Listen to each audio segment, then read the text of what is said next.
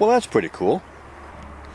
So, to add insult to injury to our whole COVID uh, debacle from missing the Seattle event and all those festivities, that wasn't the first geocache in Idaho that we just found.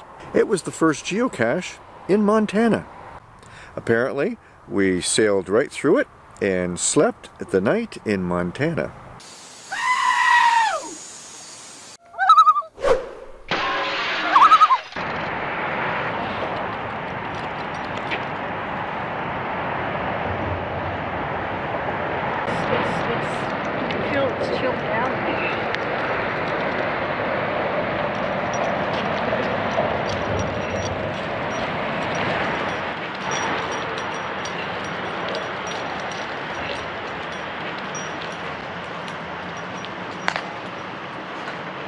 Get it? Uh, no, not yet. Uh, got it.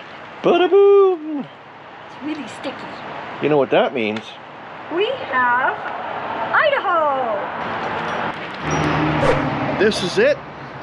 Idaho, finally, after having driven through it a year ago in August in the dark, not realizing what we did, we finally have a geocache in Idaho.